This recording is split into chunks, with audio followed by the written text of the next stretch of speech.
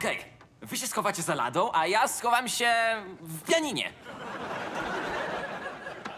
Ktoś mu wreszcie wyjaśni, że wcale nie gramy w chowanego? Jeszcze nie.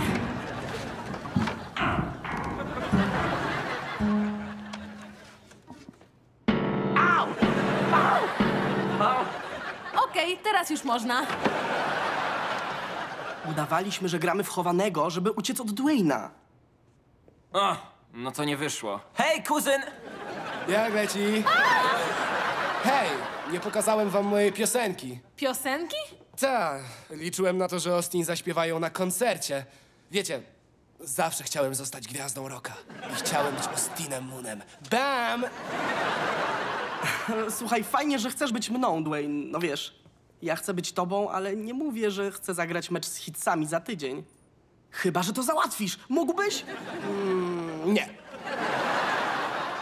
słuchaj, Dwayne, doceniamy twój zapał, ale nie ma mowy, żeby... Żeby dać ci odpowiedź, zanim jej nie omówimy. Do mnie. Hej, nie ma opcji, żeby zaśpiewał ze mną. To ważny koncert, będzie leciał na cały świat. Tylko w ten sposób się go pozbędziesz. Okej, po pierwsze, nie wszyscy chcą się go pozbyć. Po drugie, nie łapię o czym mówisz. Dwayne miewa różne obsesje, ale jak już coś załatwi, to je porzuca. jako dzieciak chciał być strażakiem, no a potem astronautą, szefem kuchni, potem baletnicą. Rany, ta spódniczka była straszna. To jak zaśpiewam piosenkę i dam mu wystąpić, przestanie mieć tę obsesję? Tak, Dwayne, zgadzam się na ten występ. Tak!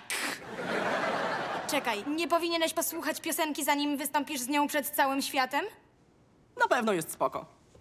Hej, panno, moja panno.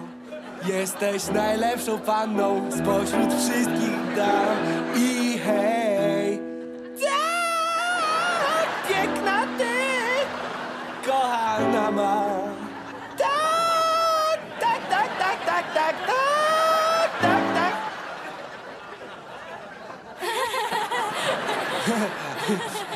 To była chyba najgorsza piosenka na świecie. I miała złe rymy.